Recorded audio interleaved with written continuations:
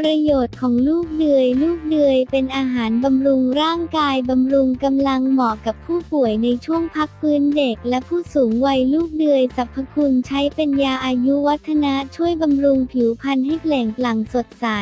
ช่วยบำรุงสายตา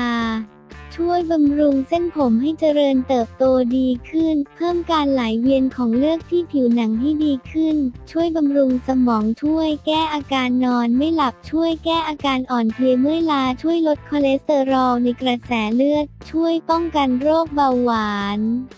ช่วยยับยั้งสารก่อมะเร็งลดความเสี่ยงจากการเกิดโรคมะเร็ง ช่วยยับยั้งการเกิดเนื้องอกช่วยเสริมสร้างภูมิคุ้มกันให้กับร่างกาย ช่วยบำรุงกระดูกให้แข็งแรงป้องกันโรคกระดูกพรุนช่วยแก้ร้อนใน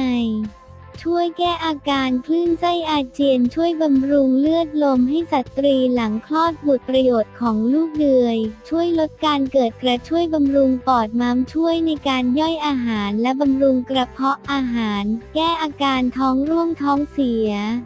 ช่วยในการขับปัสสาวะช่วยบำรุงมดลูกเหนียวนำให้มีการตกไข่แก้อาการสตรีตกขาวมากกว่าปกติช่วยบำรุงไตป้องกันโรคเหน็บชาช่วยป้องกันการเกิดโรคเกาต์แก้อาการปวดข้อช่วยต้านการอักเสบช่วยรักษาหูด